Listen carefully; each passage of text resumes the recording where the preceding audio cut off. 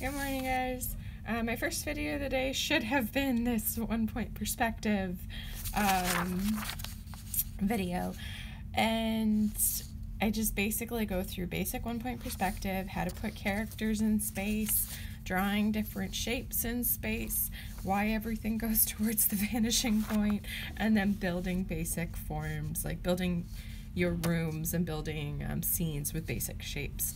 Uh, really basic video. I try to keep it as simple and concise as possible because perspective is so daunting, especially for me. I know it it always gave me hell when I was in school, so I wanted to make this as like the easiest way to digest perspective possible. Anyways, that aside, um, I am going to be doing an illustration using perspective. So this is just some reference I've been building up and I've been just trying to like figure out different objects and stuff I want to have in my illustration. It's always good to do some design work before you go into a major piece uh, just to like get costume bits down for your character, um, what things you're going to want in the background. Um, special tools or anything that will be used uh, later on or that need to be like prominent in the illustration um, it's just good to like get some practice drawing them so that when they put them in the scene uh, their detail like these minor details that you're adding won't be like daunting for you. So flip the page make sure i'm not flipping it um, too many pages and let's get started. So the first thing i want to do is i want to just build a frame. It's always better to put whatever you're drawing in a frame. It looks nicer and it gives you something to measure off of when you're uh, drawing. Anyway, so then I decided my horizon line, and I briefly covered it in the other video. Basically, the horizon line is where your vanishing point is going to be on, and it's where you're looking in the image. So I'm going to have my horizon line a little bit higher. And I am going to just stick with one point perspective for now, just to keep things simple. Two point perspective, um, it can be done. I just have to do a little thumbnail. And technically, I should do a little tiny thumbnail of what I want to draw um, so that I know where I'm going with this whole thing. And it's always good to do miniature thumbnails and block in your major shapes when you are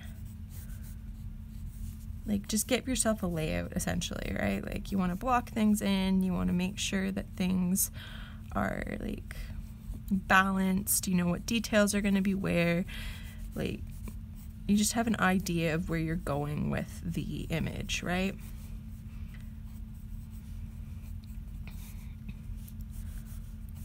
And this you don't have to do a lot of detail in thumbnails. You just kind of want to break down like what is going like on in your image. Anyway, okay, so breaking down. then see you may want to do this with a ruler. It just makes everything look neater, but because I want to get this done fast, I'm freehanding it. I don't suggest this. Um, and basically I'm just like throwing lines, giving myself a little starburst pattern, and what this is doing is it's giving me like kind of uh, base work on like where my lines are going to be heading. So yeah, I want that like that.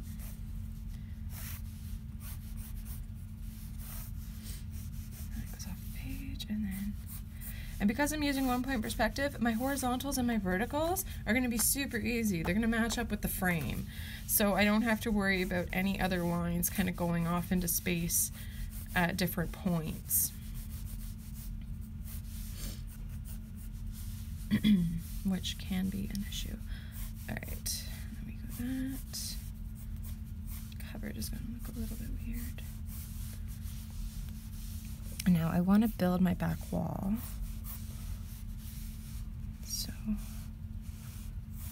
I might take this and move it a little bit this way because I want the corner of the wall not to intersect with any other portion.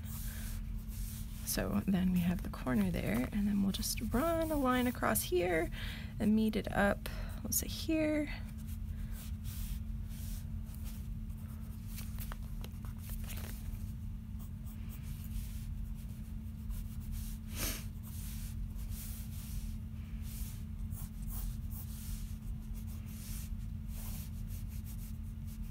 These are pretty shallow cupboards, but that's okay. Anyway.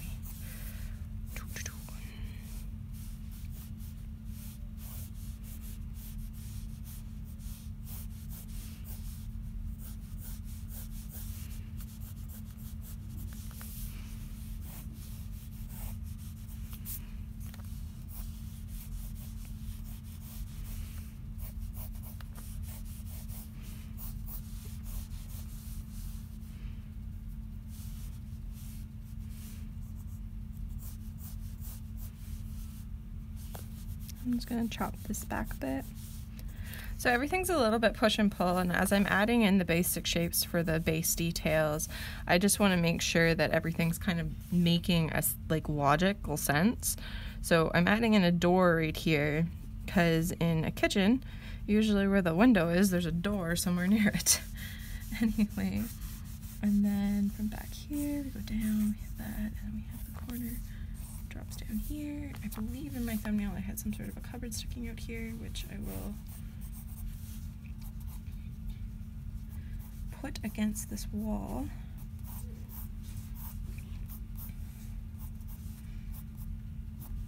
Spice cupboard.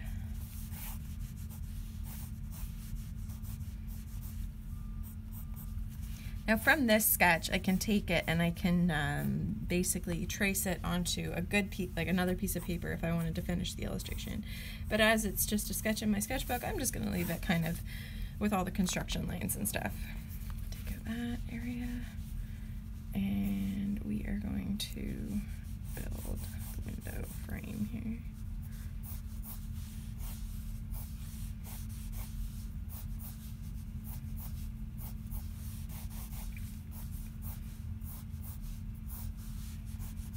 Anyway, okay, so doing this.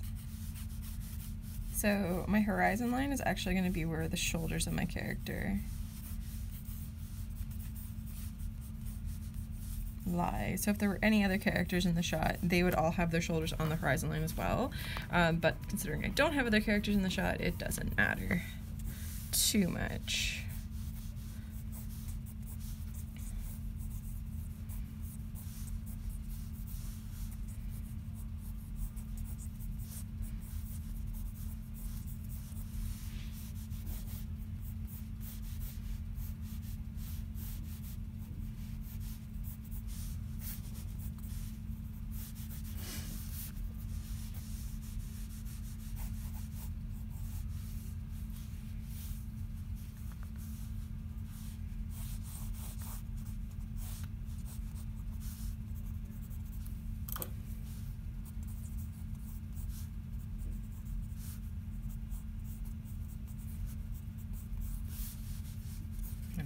Blocking in some more basic shapes to kind of go over. I'm just going to add cupboard doors to this. So I don't have to add extraneous details there. But you can add just basic like little blobs and stuff and it just gives you an idea of what um, details you want in these areas. So I'm going to put bottles and stuff everywhere.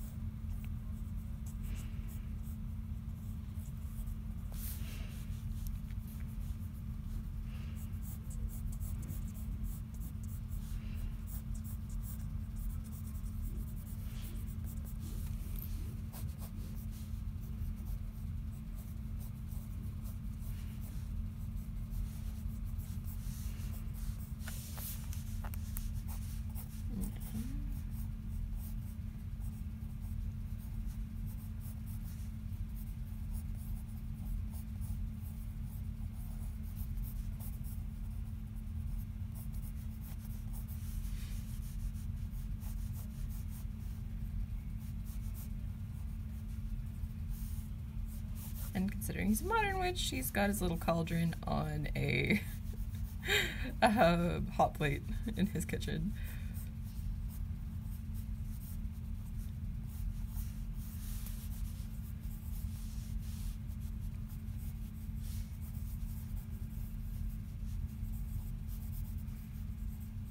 You want him holding his tools properly.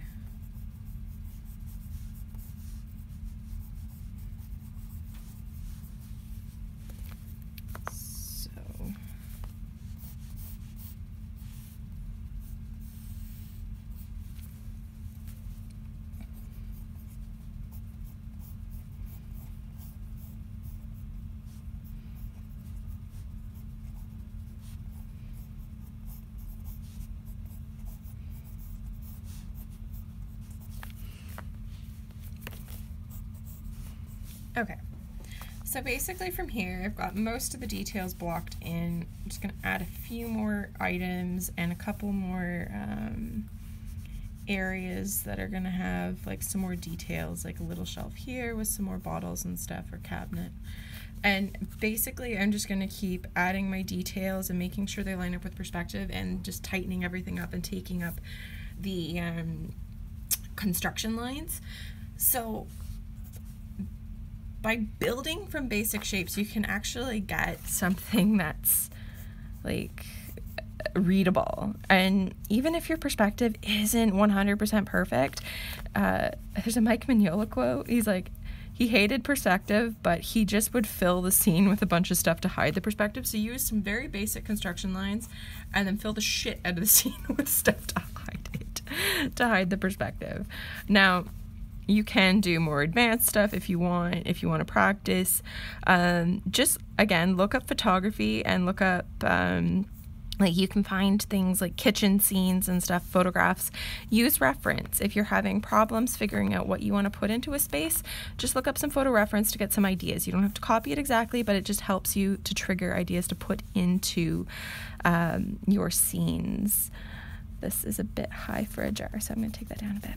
Um, yeah, so it's push and pull and just make sure that your basic construction lines work.